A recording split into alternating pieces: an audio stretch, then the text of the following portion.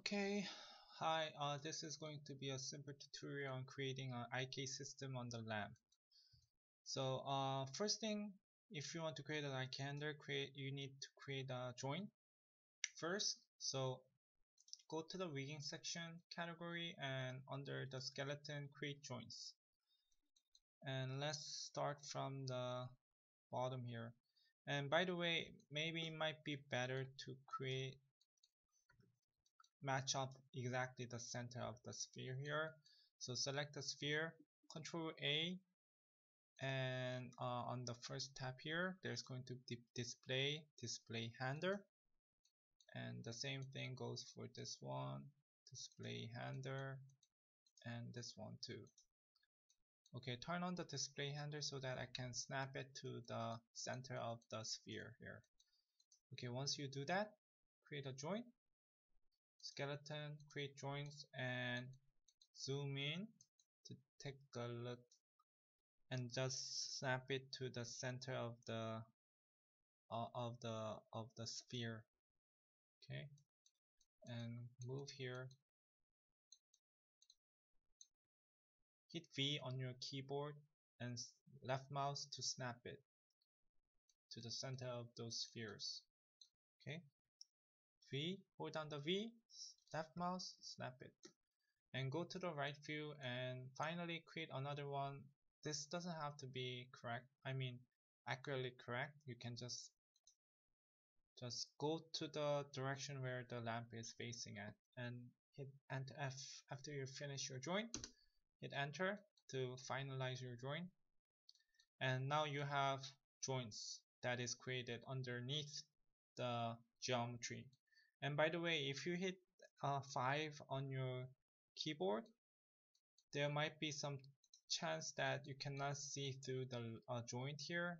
Uh, so what you have to do here is you have to click this X-ray joint icons so that you can see uh, underneath the polygon the joints underneath the polygon okay once you have created that make sure that this middle section is maybe bended in this direction. If you your joint is bended in this direction uh, it might have some uh, trouble with uh, when you set up the IK handler is going to bend in this direction instead of this way. So make sure that it is straight or bended slightly to this direction.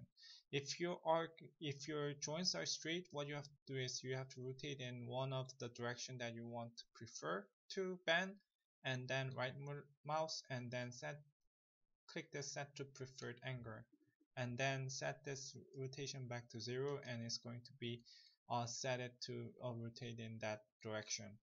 So next thing what you have to do is we have to create an IK handler. So under the skeleton uh, IK handler go to the option. There are two uh, solver you can use. Single chain is more simpler but uh, there are sometimes when you try to rotate the head of the lamp it might have some affected rotation or uh, translation on the on the body part. So uh, I prefer to use the rotate plane solver. it has it we have to create an extra controller for this one but still it, it works fine.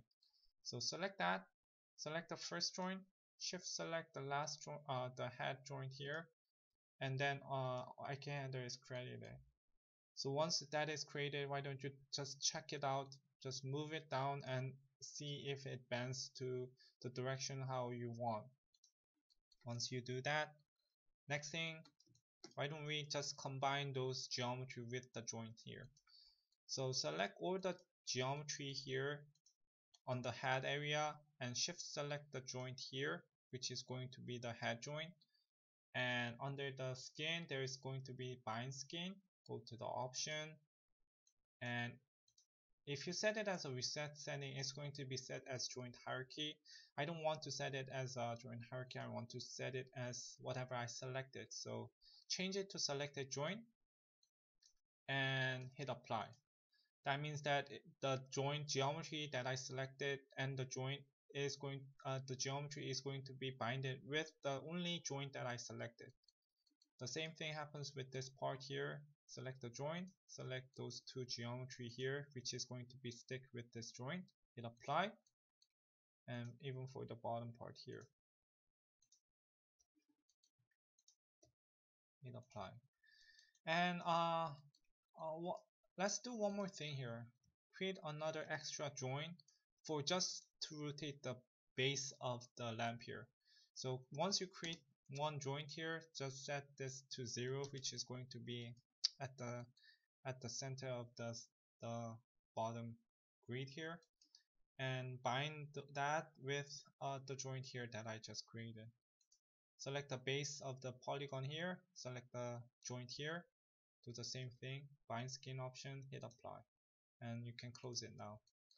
So uh, once you do that double check if that works it works fine. So uh, what I'm going to do here is next thing what I have to do here is I have to create controllers. So just I'm going to use this one here.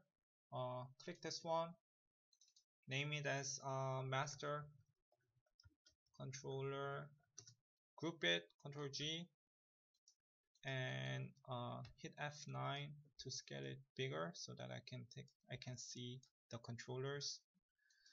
And this is going to be my master control D again and this is going to be my base which is going to be uh, the base movement of the lamp here. And duplicate this again.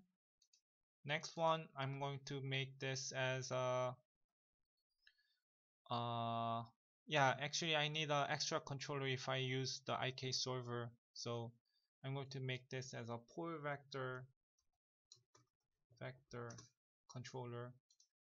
And what I'm going to do is I'm going to select my group here snap it to the center of it might be hard to snap it because of the polygon so I, I just hide my polygon for a second here and just snap it to the center of the joint here and move it shift it backwards. I'm going to scale it down more okay so next duplicate this controller and this next joint is going to be my head controller. So I'm, I'm going to name this as my head. So I think I have most of the controllers set here. So uh, next thing what I have to do is I have to whenever I move my controller I have to move it have to be moved together with the joint. So first thing here I have to parent my IK handler to this controller hit P. So whenever I move my controller here I can move my upper part of my lamp. And by the way I cannot rotate I mean it rotates in one direction but it's not going to rotate as I expect like up and down here. So what I have to do here is there is a lot of uh, ways you can uh, connect them together but the simply simplest way here is select my controller shift select my joint the joint of my head and under the constraint menu there is going to be a orient constraint. Go to that option make sure that maintain offset is turned on and hit that. So once you do that you can uh, rotate my the head of uh, this lamp here. Next when I move this I want this part the middle section to be pointing uh, to the the controller on the back. So what I'm going to do here is select my controller here the pole vector controller and select the IK uh, control select the IK handle from the outliner. And then uh, under the constraint I'm going to do uh, use a pole vector for that. So once I do that when I move this down and when I start moving this left and right the back part is going to move with the controller here. And for this one maybe I'll just parent over my joint to the bottom controller here so that when I move my bottom it's going to move with my bottom controller.